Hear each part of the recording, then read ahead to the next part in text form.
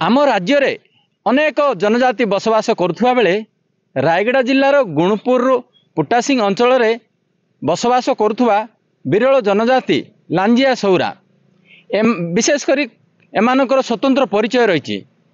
ଏମାନଙ୍କର ବସ୍ତ୍ରରୁ ଏମାନଙ୍କ ପରିଚୟ ଜାଣିହୁଏ। ଆଦିବାସୀ ଦିବସରେ ଆମେ ଦେଖିବା ବିରଳ ଜନଜାତି ଲାଞ୍ଜିଆ ସୌରା ଆଦିବାସୀ ବଣ ପାହାଡ଼ର ଅଧିବାସୀ। ଘଞ୍ଚ ଜଙ୍ଗଲର ଛାତି ଚିରି ଭାସି ଆସୁଛି ଆଦିମ ଜନଜାତିଙ୍କ ନାଚ ଗୀତ ଓ ସଙ୍ଗୀତ। ନା ଅଛି ଦୁଃଖ ନା ଅବଶୋଷ। ଖାଲି ଅଛି ଖୁସି ଆଉ ଖୁସି। ମାଟିକୁ ଭଲ ପାଉଥିବା ମାଟିର ମଣିଷମାନେ।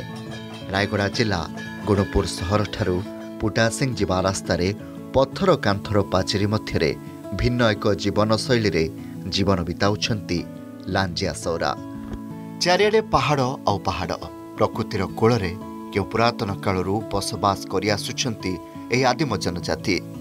ରାଜ୍ୟର ତେରଟି ପୁରାତନ ଜନଜାତି ଭିତରୁ ଅନ୍ୟତମ ଏହି ଜନଜାତି। ଏମାନଙ୍କ ବେଶଭୂଷା ଦେହର ପରିପାଟିରେ ରହିଥିବା ସ୍ୱତନ୍ତ୍ରତା ହିଁ ଏମାନଙ୍କର ପରିଚୟ। ଆଦିମ ଜନଜାତିର ସର୍ବପ୍ରଥମ ଅଭିବ୍ୟକ୍ତି ହେଉଛି ଚିତ୍ରକଳା ଆଦିବାସୀ ଚିତ୍ରକଳା। ଆଦିବାସୀ ସଂସ୍କୃତିର ଅନ୍ୟତମ ମହନୀୟ ବିଭବ ଆଦିମ ଜନଜାତି ଲାଞ୍ଜିଆ ସୌରାଙ୍କ ଚିତ୍ରକଳା ଇଡ଼ିତାଲ ସବୁଠାରୁ ଅର୍ଥପୂର୍ଣ୍ଣ। ଅନ୍ୟ ଚିତ୍ରକଳାଠାରୁ ଏହା ଅଧିକ ପ୍ରାଞ୍ଜଳ ସୌରା ଭାଷାରେ ଇଡ଼ିର ଅର୍ଥ ହେଉଛି ଚିତ୍ର ଆଉ ତାଲର ଅର୍ଥ କାନ୍ଥ।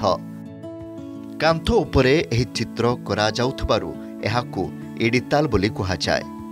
ସୌରମାନଙ୍କ ଘରେ ଆଜି ମଧ୍ୟ ଇଡ଼ିତାଲ ଇଷ୍ଟଦେବ ରୂପେ ପୂଜା ପାଆନ୍ତି। ଏହି ଚିତ୍ରକଳା ହେଉଛି ସେମାନଙ୍କର ଭାବବୋଧକ ଲିପି। ପୂର୍ବପୁରୁଷଙ୍କୁ ସମ୍ମାନ ଦେବା ସହିତ ସାମାଜିକ ଜୀବନରେ ସେମାନଙ୍କର ବଞ୍ଚିବା ନେଇ ଆଶଙ୍କା ମଧ୍ୟ ଦୂର କରିଥାଏ ଏହି ସ୍ୱତନ୍ତ୍ର ଚିତ୍ରକଳା। ଡିତାଲ ହେଉଛି ଆମ ପରମ୍ପରାର ଗୋଟେ ଚିତ୍ର।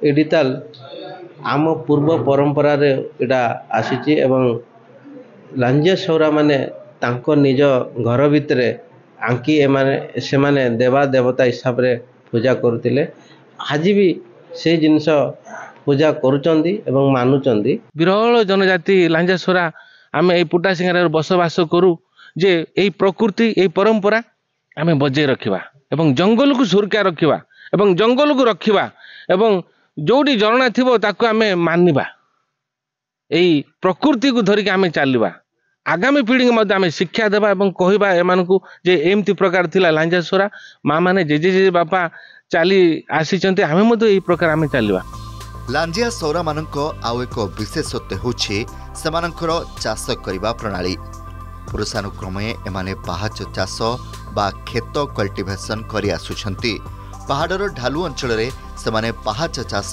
ବା ଷ୍ଟେପ୍ କଲ୍ଟିଭେସନ୍ କରନ୍ତି ପଥରରେ ଜମିର ପାଚିରି କରି ତଳକୁ ତଳ ଚାଷ ଜମି ତିଆରି କରନ୍ତି।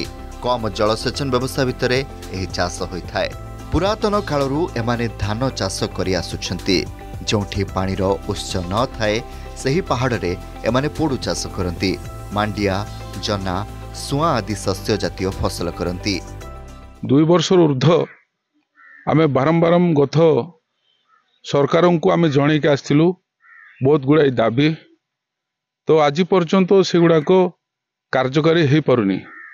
ତେଣୁ ଯେଉଁ ଏବେ ନୂତନ ଭାବରେ ଯେଉଁ ଆଦିବାସୀ ମୁଖ୍ୟମନ୍ତ୍ରୀ ହେଇଛନ୍ତି ତାଙ୍କୁ ଆମେ ବିରଳ ଜନଜାତିଙ୍କର ଦାବି ଜଣେ ଶୁଣିବାକୁ ଆମେ ଚାହୁଁଛୁ। ଡିଜିଟାଲ ପେଣ୍ଟିଂ ଯୋଉଟାକି ତାଙ୍କର ସ୍ୱତନ୍ତ୍ର ଚିତ୍ରକଳା ରହିଛି ତାର ପ୍ରୋତ୍ସାହନ ପାଇଁ ଆମେ ସବୁ ଆର୍ଟିଷ୍ଟ ମାନଙ୍କୁ ଗୋଟେ ଫୋରମରେ ଗୋଟେ ତାଙ୍କୁ ସଂଯୋଗୀକରଣ କରି ତାଙ୍କୁ ଆମର ଓରମାସ ମାଧ୍ୟମରେ କେମିତି ତାଙ୍କର ଚିତ୍ରକଳା ବିକ୍ରି ହେଇପାରିବ ତାଙ୍କୁ କେମିତି ଅଧିକ ଉନ୍ନତ ମାନର ଆହୁରି ଟ୍ରେନିଂ ସମସ୍ତଙ୍କୁ ଦିଆଯାଇ ପାରିବ।